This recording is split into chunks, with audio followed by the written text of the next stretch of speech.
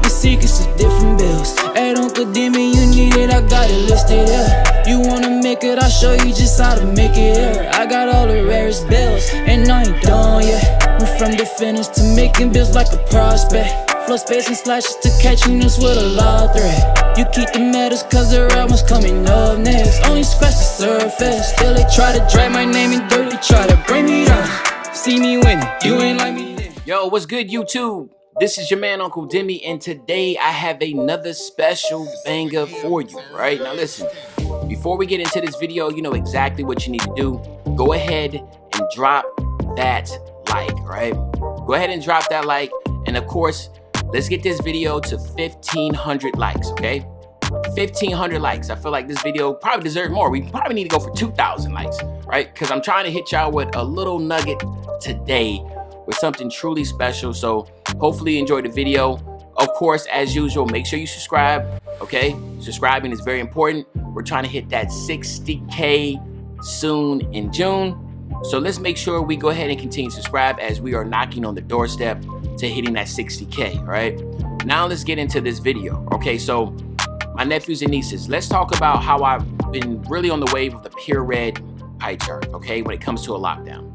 And by all means, it is 100% goaded build, especially a lot of individuals have been using them at the small forward position, which is all good and dandy, but it's really better. That version is better at the point guard spot because again, you get more badges and you get um, the uh, more attributes, which gives you a better overall build. But also, everybody's I won't say everybody, but people that try to justify going for a small forward is because you get an extra shooting badge. And I'm like, oh, okay, all right, cool, extra shooting badge. So if you want the extra shooting badge, you go small forward. Well, I've been sitting thinking, and I was like, man, I remember back in the day, I used to really, really be on that yellow and red pie chart. And I thought it would be really cool to come revisit it again because when I was making this video, I really started to realize that, you know what? The yellow and red pie chart, that thing reigns supreme, bruh. And this build that I made today, my goodness, I think it's going to come right back at the top. I think this is going to make a resurgence back as the best lockdown build on the game. And let's just go ahead and hop right into it. We want to use this red and yellow pie chart. Now listen, as you can see here with the pure red, you have 95, 94, 95, right? Here, 85, 84, 87. Yes, that's a massive difference, okay? And then of course, when you look at the shooting, 73, 67, here, 66, 51. So of course you get better shooting with this pie chart, you get better defense here, okay? So also you see the finishing, 85, here, 91, which is kind of a wash. And then of course the ball handling 78. And then of course here it's 89. But we do not need as much playmaking. And that's one thing you have to keep in mind. You do have to have an open mind when you come this build because you're not going to be utilizing as much of the playmaking because you're going to be focusing on defense. But the playmaking has an important part to this build, which I think is another way to think of it, all right? So that's why the whole thing is let's rethink this lockdown build situation. Okay, so now let's go ahead and again, as we've been doing our time, we realize that, hey, going with the balanced pie chart to try to get as much strength is definitely the wave now, right? That has been backed up by 2K labs and by some 2K developers. So of course, this is where things is going to be different, right? So I, I right here, and I just again, if you see right here, you have 410 attributes, right? You know, I mean, I really real quickly, I wish I could do this real quick. I'm just gonna do something really quick for y'all because I think some people are not truly understanding. Let me do this. Um, I, I have to do this because I think people are not really understanding. All right, cool. So you see right here, yeah, 24, right? Yeah, 24. You know, you have 11. Uh, yeah, 20. Okay, so I max out the top three. That's 11. Um, the course just goes to 10, and the defense is 24, right? I just want to do this real quick because I think people are not thoroughly understanding what I'm talking about. All right. So let's just do the same pie chart. All right. Same physical. And then watch this. Let's watch this. Max this all out. And you only get 22. Okay. So now you, hopefully you're understanding why I say what I say about like going with the point guard. Because I know a lot of y'all be like, see right here, you max out the top three, you only get 10. You max out top three on the point guard, you get 11, all right? Same thing with the small forward build. And I don't, and like I said, you know, I, I, am gonna do this real quick because I just want y'all to understand why. Oh my God. And you can just already look at the numbers, man. Look at that 70s across the board. It's just small forward is not the wave, shooting guard is not the wave. It's a point guard, you know. But same thing here. You have less attributes. And as you see here, you only have 21. You actually get better defensive badges as a shooting guard. So as you start to change positions from a small forward to a shooting guard, from shooting guard to a point guard, you get more defensive badges. And then up here, let's see how many badges you get here. Oh my God, you get seven. So with the point guard, you get 11. With the shooting guard, you get 10. And then with the small forward, you get seven. So again, for those knuckleheads that keep on saying, Uncle Demi, another point guard build. Well, yeah, yeah, because it's the best version, right? So that's the reason why I do that. When I try to do best, the best version of a build, I'm going to go point guard because those are the best attributes. If I'm just trying to make a rare build or just some other builds like that, then of course I'll go other ways. But I'm going to go point guard here because because you get more attributes and you get the best bang for your buck. It just is what it is, right? So anywho, especially in this situation where we're not even going to utilize a lot of the badges because we are definitely manipulating the numbers.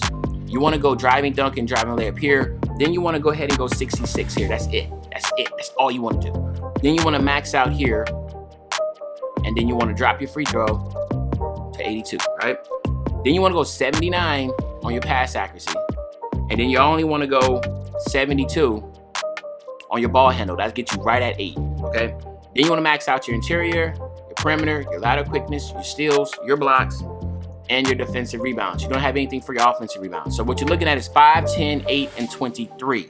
Okay, so when it comes for a lockdown, your job is just to completely play defense. This is extremely good because you do have 23 badges. And again, I made this for my non-legend people because I know there's way many more. There's 99% of y'all are not legends. So this is what you will go with. If you are a legend, then this changes everything completely right? Because the fact is, is that your playmaking, you don't even have to worry about that because you're going to get 10 playmaking, you only need two badges. So what I will say is just that, you know, you will get this be good with going with five here, right? Make sure that's five. So you go five here, you max out the top right here. And then of course you will max out your offensive rebound by taking away your ball handling a little lower and your, and your pass accuracy down, right? But in this case, since we're not doing that, I just want to make sure I have my non-legends um, taken care of. So this is what we'll go with, all right? And even if you went with this as a legend, 15, 20, 18, and 33 is really good also, but you can max this all the way out. And then, of course, you only need eight playmaking with this lineup. Now, of course, the first thing people are going to say is that, well, why are you not utilizing the playmaking part? Because all you need is eight. Remember, your job as a lockdown for most purposes, right, is to stand corner, shoot threes, and then um, keep in mind now, this is when you have your friend that's going to be the primary ball handler, okay? So you know you're not going to be dribbling a lot. You know you're going to be standing corner or standing elbow, right? You know this, and you know it is what it is. This is the, that's the buddy you have running lockdown today, or you're in a comp stage and you know that hey you're playing corner or whatever. This is what the build is, and this is why I think this would be really good to be rethought of, right? So, um, what you want to do here with your body type, it can be any either type. In this case, let's just go defined. You want to go six five, right? And the reason why I say you want to go six five here is because, of course, height has a lot to do with contest. It also has a lot to do with um, your blocks and that type of deal. But look at this. So when you're at six four, I mean, from six three to six four, you get a plus seven in your block, you get a plus four in your de defensive rebound, you get a minus two in your ball handle, and a plus one in your driving dunk. So then, and a plus five in your interior. But then when you go from six four to six five, look, you only get you only lose one on your ball handle, but you get a plus 14, a plus nine, and a plus eight on your defensive, your block, and your tier defense. And you only lose a one on your mid-range shot. That's it. And you get a plus two on your driving dunk. So again, that's where I believe is the benefit. This is a sweet spot for a lockdown to be six five. It's really a benefit. You only lose minus one on your lateral quickness. And then from here, you want to go at 93 because that does not change your strength and it gives you a plus one on your um your vert and you do not have to worry about anything else being touched on your defense okay and of course by going down even lower you see how things change and of course you keep going your interior defense drops I think it's dope that when it's all said and done, you have a 70 interior defense, which really helps when you have guards ISOing you and hop stepping you. And if you're in the paint playing defense, that helps you out a lot with your interior defense, along with your block and the badges you have, okay? Then here, what you wanna do is you wanna max your wingspan all the way out. As we know, this helps with contested um, contesting shots. This helps with shooting. This helps with um, your contested layups.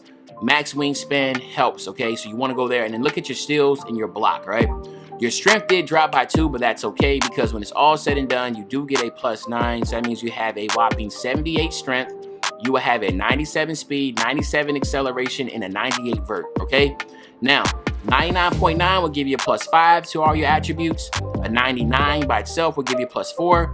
I like to do plus fives, but again, if you're not someone that's able to be to maintain a 99.9, then you just go plus four. But for me, I'm gonna go plus fives. So that means that your driving dunk will be a 93. That means you have a 74 mid-range shot. That means you have a 69 three-point shot. You will have a 72 ball handle, which will give you pro tier dribbles if you want to use that. You also have um, a 90 perimeter defense. You'll have an 88 lateral quickness. You'll have a 93 steal. You will have an 89 block. And of course, you have a 93 defensive rebound. So again, defensively, you're off the charts, okay? Now, when it comes here, this is where you want to just go with the lockdown because that's going to give you a plus 10 to everything we just talked about. So now all of a sudden that 90 perimeter defense with that plus 10 gives you 100.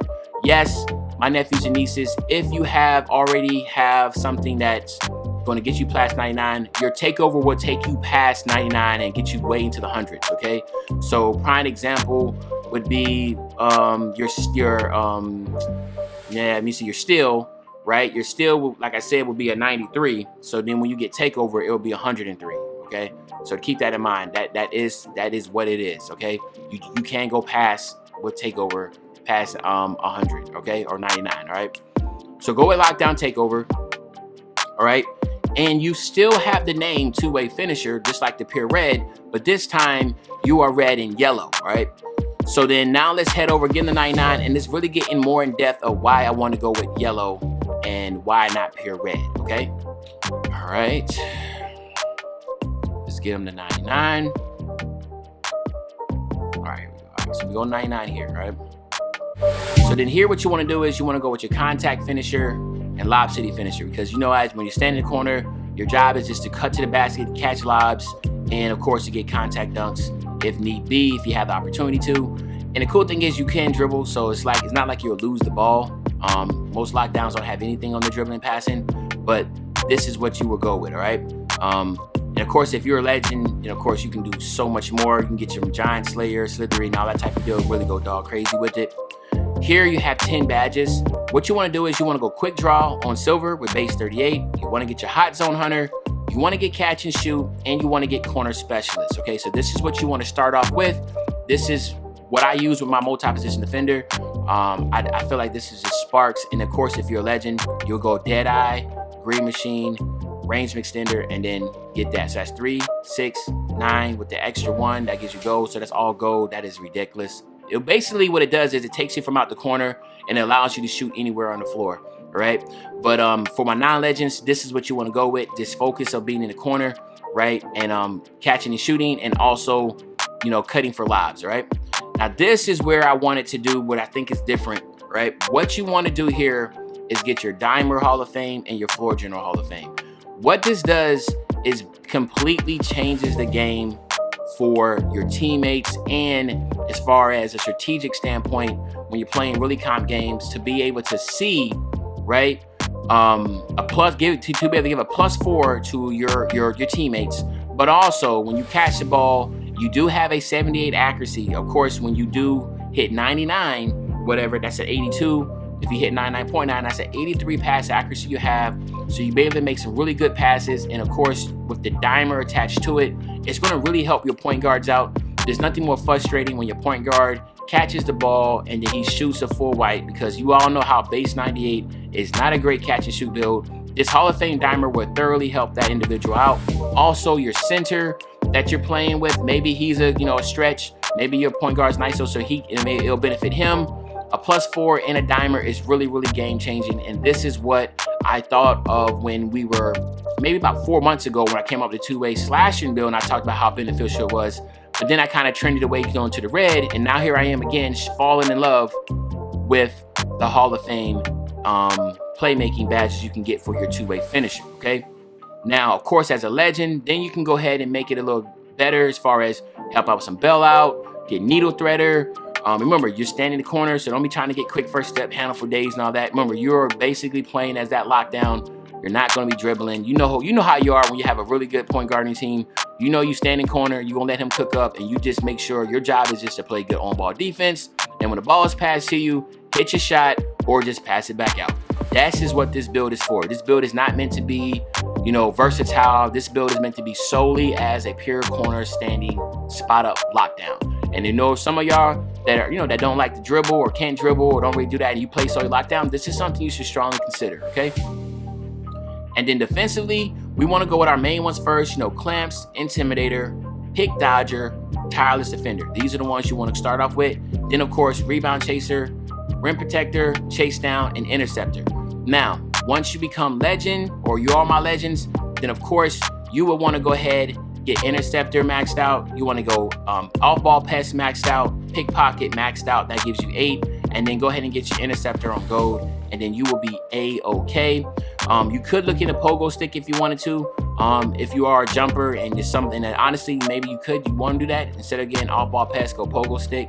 That'd be good. Or you can go pogo stick, off ball pest, and don't worry about pick pickpocket um, and then use the other bad, remaining badges, two remaining badges here, or just go silver pickpocket. I mean, it's really your call. But again, this is a, a really good um, lockdown build that you could use that can really help out your teammates when it comes to the Hall of Fame passing and playmaking, all right? So hopefully y'all understand where I'm coming from about trying to rethink this lockdown build situation. If you enjoyed this video, please go ahead, drop a like, make sure you subscribe, tune into me on Twitch. I do stream on Twitch. And of course, this is your man, Uncle Demi. I'll be back really, really soon, another banger. You know, when I say I'll be back soon, another banger, you know exactly what day I'm talking about, man. I'm talking about tomorrow. I'm out.